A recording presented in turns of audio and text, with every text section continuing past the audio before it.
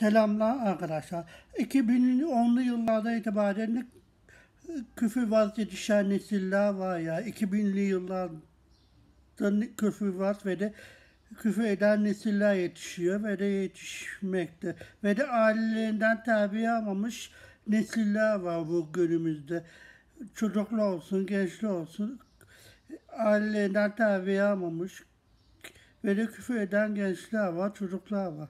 Biz onlar bize bir şey dediğinde onlar bize bir şey dediğinde bir laf dediklerinde biz onu eleştirdiğimiz zaman ağzımıza alınmayacak küfürler ediyorlar, hakaret ediyorlar ve de küfürler yazıyorlar.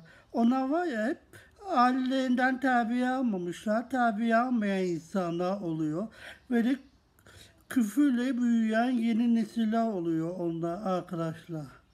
Ve de küfürbaz oluyor. Ben anlayamıyorum şimdiki nesilleri. Ve de ailelerinden terbiye almamışlar, öğrenememişler. Büyüklerine küfür edilmeyeceğini, küfürlerin, büyüklerin nasıl davranacaklarını öğrenememişler. Ve de küfür ediyorlar.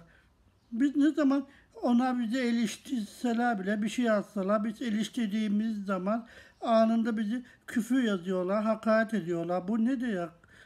Ben anlayamıyorum bunu ya. Küfür ediyorlar, küfür öğreniyorlar ya YouTube'dan. Ve de küfürbaz olarak yetişiyorlar, küfürbaz olarak büyüyorlar şimdiki nesiller YouTube'da. Ben bunu anlayamıyorum arkadaşlar.